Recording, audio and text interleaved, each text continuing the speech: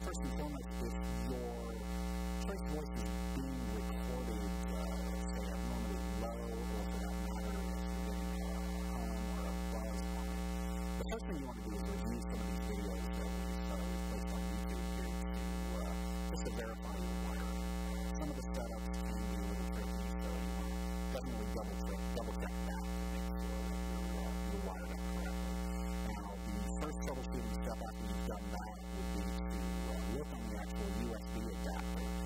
You'll a tiny, tiny switch that lives here on the side. Uh, it'll in one position or the other.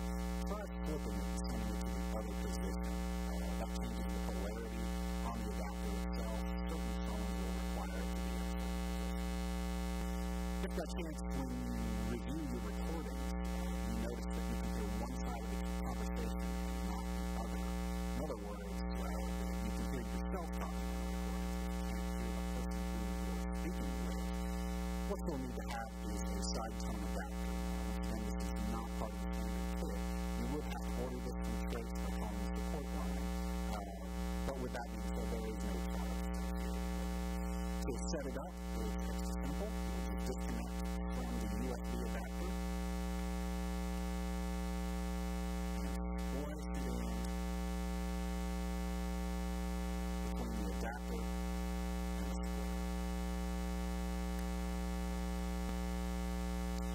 If when you're doing your recordings you hear humming sound buzzing that's going on in your recording there not much else, what you'll need to use is a hum adapter. Uh, this is not part of the standard kit. You would have to order this from Trace.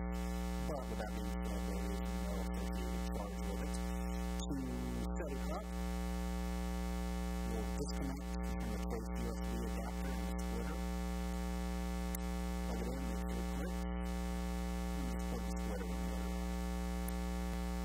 There are certain states that require a disclaimer to be played uh, to let the other party know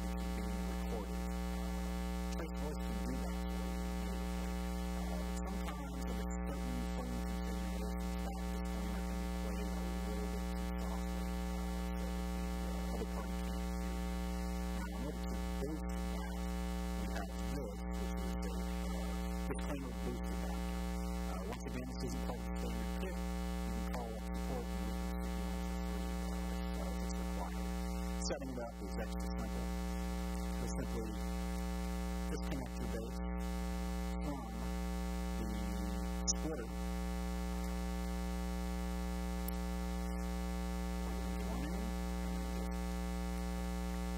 Back into where you pulled the cable. In certain circumstances,